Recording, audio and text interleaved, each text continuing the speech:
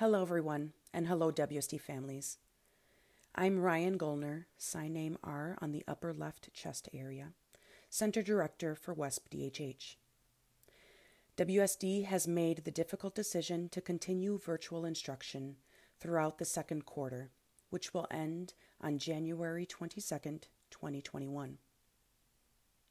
Once again, this was not an easy decision. Of course, we want to be back in person, face to face. But the safety of our students, families, and staff is still our top priority. In the end, the situation here in Wisconsin as it relates to COVID 19 is dire. Cases are skyrocketing. And predictions for this coming winter do not look good.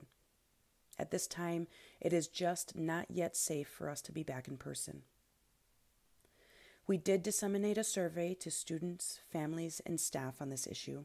Again, not 100% of people will agree or be in support, one way or another, completely. The decision on whether or not to reopen for third quarter will be made again in December when we will regroup and discuss this decision once again.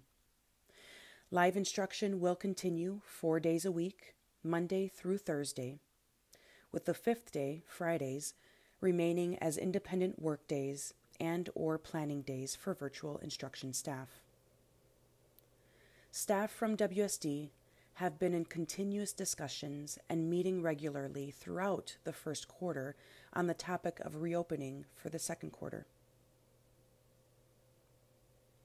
Staff have been attending Walworth and Rock County's health department meetings and engaging in discussions with DPI staff which have included school nursing, safety, legal, and HR staff, and will continue to do so. We also take into consideration guidance from local, state, and national health experts. I want to take this time to list a few reminders. Local school districts depend on their own local area's numbers in deciding whether or not to open. WSD remains dependent on the numbers statewide. The state of Wisconsin as a whole is not in a good place, which remains a concern. Social distancing requirements, staff absences, and so forth are still a concern for the school, dorm, and health departments. If anyone shows any symptoms of COVID, we are to assume that they have contracted it.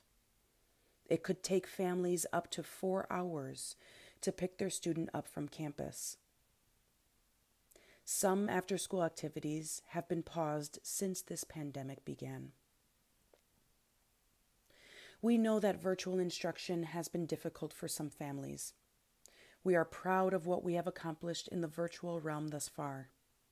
We will continue to work with you in making sure that your child's IEP provides a free and appropriate public education, FAPE, and that it is implemented and carried out with supports in place.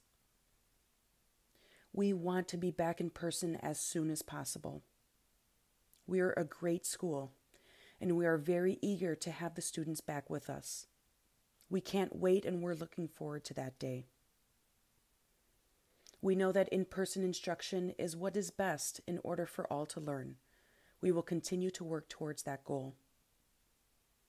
If you have any questions or concerns, please contact the school principal, Brian Levens, whose email is listed in the letter sent to you. Thank you for your understanding and for your support during this challenging time.